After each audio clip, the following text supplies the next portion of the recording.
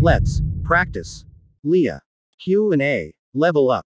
Agricultural extension. Part 1. Here we go. Effective communication will attain if a. They have similar educational background. b. They are of the same nationality. c. They have established a common field of experience. d. They are the same sex. The answer is letter C. They are information supplied, in tabular form, to show sequences and relationships.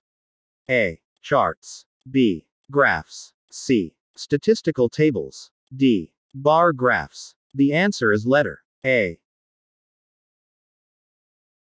During the 1960s, agricultural extension delivery service was characterized by this very linear model, referred to as A. Technology transfer. B. Pluralistic extension. C. Participatory extension. D. None of the above. The answer is letter A. Development in agriculture is manifested through A. Improved efficiency of agriculture. B. Increased food security. C. Increases in agricultural manpower. D. Modernization of the agriculture sector. The answer is letter A. Credit, as an institutional factor, hampers the transfer of technology when a. Appropriate technology is not being used. b. There is no access to inputs like fertilizer and seeds. c. Government and bank policies are complicated. d. Coordination activities between extension providers are lacking. The answer is letter A. Which, of the following institutional factors offer an effective channel for extension contact with large number of farmers? A. Input supply. B. Farmers organizations. C. Credit. D. Research and innovation. The answer is letter B. Which, of the following institutional factors, offer an effective channel for extension contact with large number of farmers? A. Input supply. B. Farmers organizations. C. Credit. D. Research and innovation. The answer is letter C. Which, of the following, is not among the barriers of communication? A. Social dimension. B. Sensational dimension. C. Cultural dimension. D. Time and space dimension. The answer is letter C. Plans made to ensure a. Effectiveness and efficiency. B. Satisfaction. C. Productivity and profitability. D. All of the above. The answer is letter D. Basic concept in extension, wherein schemes, methods, or designs, used in extension work, to achieve some goals. A. Extension management. B. Extension communication. Circa. Extension approach. D. Extension organization. The answer is letter A.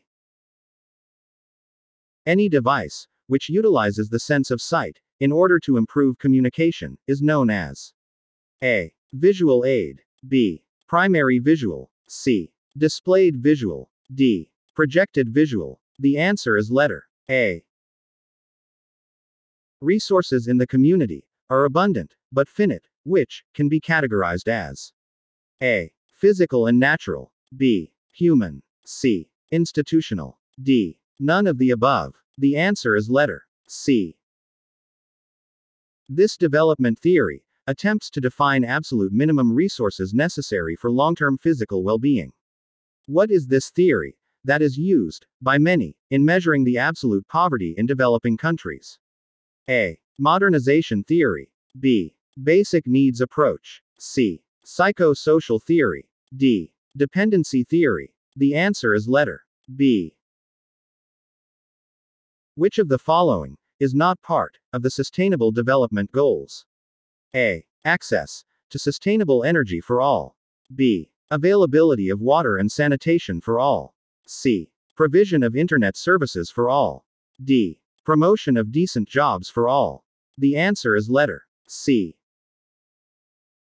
Which among the following development theories highlighted cases of exploitations of countries, under the First World category. A. Dependency theory. B. Evolutionary theory. Circa. Basic needs approach. D. Modernization theory. The answer is letter A. This practice is not prohibited in organic agriculture. A. Use of synthetic fertilizer. B. Use of botanical pesticide. C. Use of GMOs. D. Use of sewage sludge. The answer is letter B. A display visual, which carry posters, wall charts, bulletins, handouts, and announcement of extension activities, agricultural information, and news, is known as A. Mobile units. B. Extension literature. C. Storyboard. D. Bulletin board. The answer is letter D. They are most useful with individual or group teaching methods. A. Objects and specimens. B. Television. C. Films. D. Photographs. The answer is letter A. Community organizing is a process that revolves around the lives, experiences, and aspirations of the people. It can be described as A. Resource centered. B. Environment centered. C. People centered. D. Process centered. The answer is letter C.